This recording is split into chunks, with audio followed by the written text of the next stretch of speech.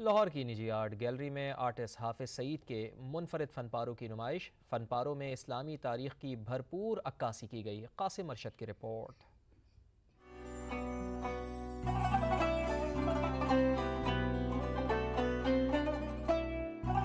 निजी art gallery की जीनत बने आर्टिस्ट हाफिज सईद के तख्लीक करदा मुनफिद फन पारे नुकते और खत सुलस की खताती के इम्तजाज से बनाए गए फन पारे देखने वालों को पसंद आए।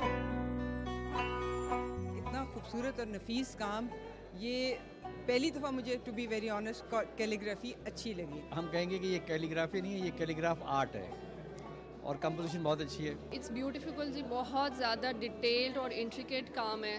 और कलर्स uh, जो हैं वो बहुत ही सटल और खूबसूरत यूज़ किए गए हैं। आर्टिस्ट हाफिज सईद ने बताया कि उन्होंने अपने फनपारों में इस्लामी तारीख की अक्सी की है। इंस्पिरेशन जो मैंने ली है वो खाना काबा से उस डॉट से ली है। और उसी डॉट को ना अरेंज किया है।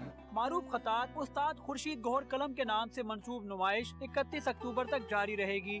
आर्ट पर गहरी नज़र रखने वालों ने इस कैलीग्राफिक आर्ट को नई ईजाद करार दिया है। कैमरामैन हसन महमूद के साथ कासिम अरशद समा लाहौर।